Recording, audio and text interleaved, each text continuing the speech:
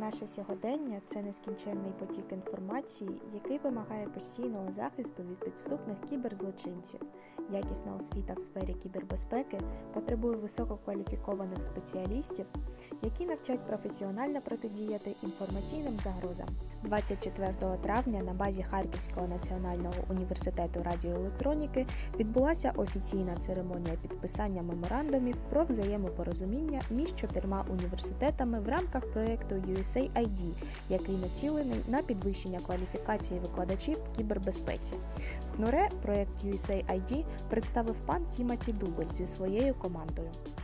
Я менеджер проекту, який фінансується Агентством міжнародного розвитку у сфері кібербезпеки в Україні.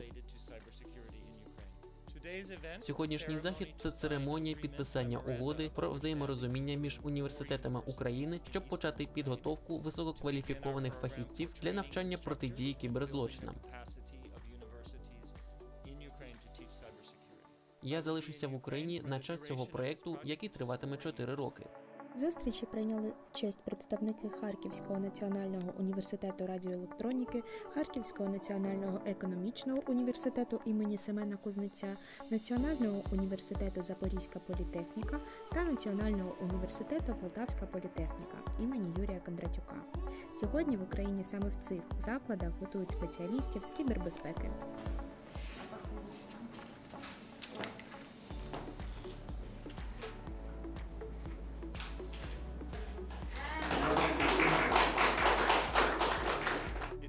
Сьогоднішній захід пройшов на належному рівні. Це основа дуже важливої програми. В найближчі кілька тижнів ми будемо навчати фахівців з кібербезпеки і допомагати нарощувати потенціал університетів не лише в Харкові, Полтаві, Запоріжжі, а й по всьому світу.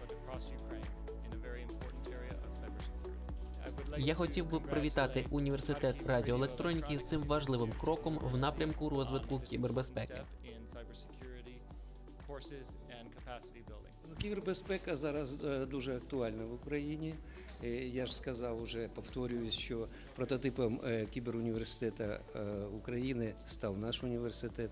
Тому що якщо подивитись на ті спеціальності, які він буде впроваджувати, це інформаційні технології, телекомунікації, мікро і наноелектроніка, біомедінженерія. Кожного року з'являється клан нашого університету, сайту університету. Чому?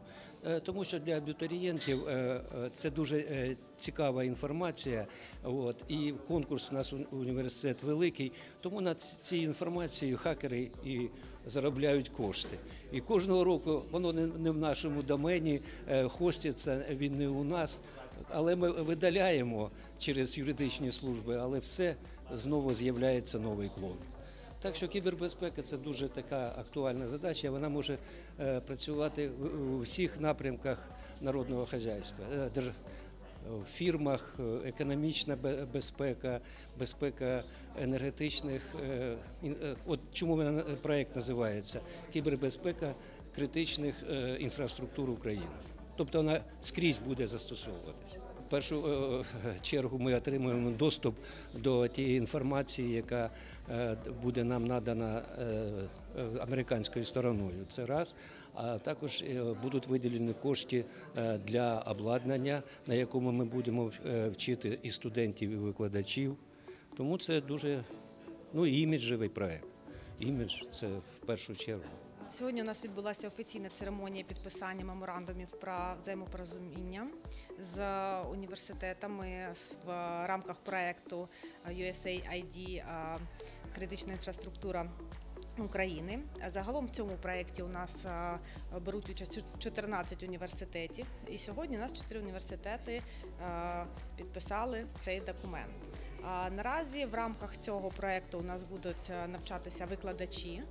І також ці викладачі в подальшому будуть передавати е, свої, свій досвід, отримані знання в подальшому нашим студентам.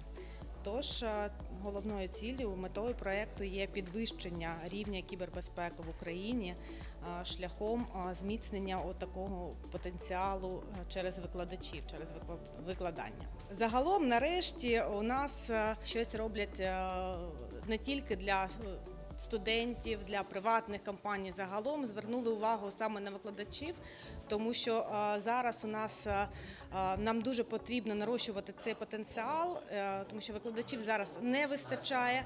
А досвідчених професійних викладачів ще менше, тобто нам потрібно дуже розвиватися в цій галузі і для університетів, тому що підвищити рівень загальної кібербезпеки можна тільки вклада... через викладання, тобто через викладачів. Даний захід став ще одним впевненим кроком до підвищення інформаційної обороноздатності країни.